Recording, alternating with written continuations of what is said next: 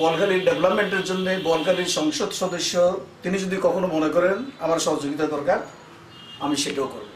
তিনি যদি মনে না করেন, তাতেও আমার কোনো আক্ষেপের কিছু নাই। তিনি ক্যাপেবল তিনি নিজে যখন ক্যাপেবল তিনি কারও সাহায্য তার দরকার নাও হইতে পারে। আমরা কিন্তু মানুষ।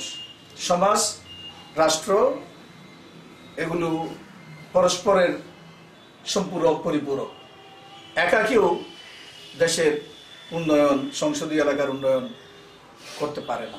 সম্ভব না। আমিও পারি না আমার এলাকায়। অনেক কাজ বাকি।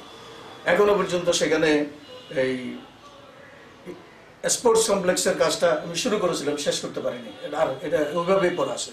তারপরে জয়ের নামে যে একটা জানি ছিল?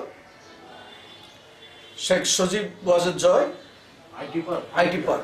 এটা এখনও ইনকমপ্লিট করাই তো এগুলি বর্তমান সংসদ সদস্য যেহেতু শারীরিকভাবে অসুস্থ, পঙ্গু তিনি এখন এটা পারেন নাই।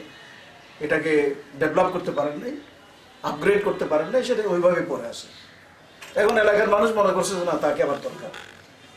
এখন অনারেবল ব্যানিস্টার যদি মনে করে আওয়ামী লীগ যদি মনে করে, বড় দল তো আওয়ামী লীগ। আওয়ামী লীগ মনে করলে বিএনএফ হয়তো ওই আসনে আবার আসতে পারে। আমি এমন ভাগ্যবান একটু আগে আমাদের এক নেতা বলছিলেন এখানে।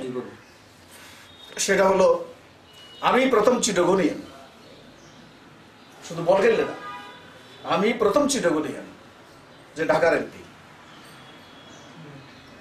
পৃথিবী সৃষ্টির পর থেকে আল্লাহর দুনিয়া সৃষ্টির পর থেকে আমি একমাত্র ব্যক্তি ঢাকার এমপি তাও আবার গুলশানের। আল্লাহ তো সে মর্যাদা দিয়েছে। আমি পঁয়তাল্লিশ হাজার ভোট পাইছি। দুইজন চোদ্দ দিনের জোটকে কিন্তু আমি হারাইছি। আমি বিএনএফ থেকে ইলেকশন করেছি টেলিভিশন মার্কা থেকে চোদ্দ দলীয় জোটের প্রার্থীকে হারাই কিন্তু আমি ওই বস্তি এলাকার ভোট দিয়ে এমপি হয়ে গেছি। তো আমার সেই অভিজ্ঞতা আছে। আমি আবারও চেষ্টা করব, কারণ ওদের কেউ নাই। ওদের কোনো অভিভাবক এখন আর নাই। ওরা এখন অভিভাবকই। ব্যাক ডেট আমার কাছ থেকে এখনও ওরা ইয়া নেয় দিও নেয় আমি দেখি। মাঝে মধ্যে অফিসাররা ফোন করে, সরকারি অফিসাররা স্যার, এটা আপনি পাঠিয়েছেন নাকি আমি দিয়েছিলাম তো তিন বছর আগে শুরু। তিন বছর পরেও জমা দিচ্ছে, আমি কী করব? এটা আমার দায়িত্ব কিন্তু কাজটা কি? বলে না, কাজটা স্যার ভালো। তো ভালো হইলে দিয়ে দেন, করে দেন।